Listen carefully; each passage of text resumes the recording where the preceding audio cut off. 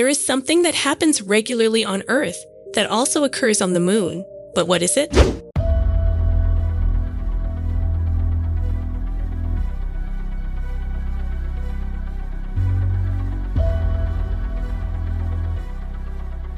Welcome to Fun Facts.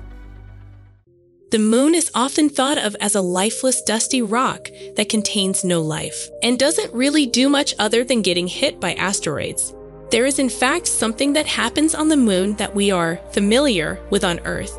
Fun fact just as Earth has earthquakes, the moon has, you guessed it, moonquakes.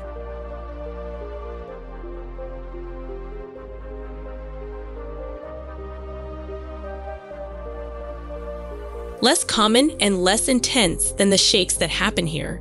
Moonquakes are believed by U.S. Geological Survey scientists to occur due to tidal stresses connected to the distance between the Earth and the Moon.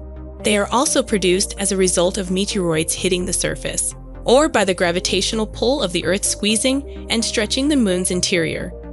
As the lunar interior cools, it is also causing the moon to shrink and shrivel like a raisin, causing other quakes as the crust buckles and breaks. Heat from the sun can also produce thermal quakes due to the temperature difference in the lunar crust as the moon emerges from its night. Five seismometers have been deployed on the moon, left by astronauts during the Apollo missions between 1969 to 1972. They were operated until 1977 five years after the final Apollo astronauts set foot on the lunar surface. But some 43 years later, their data is still being pored over by scientists. Currently, there are no active seismometers on the moon, but there are proposals to send new seismometers back to the lunar surface in future missions. We hope you enjoyed this fun fact.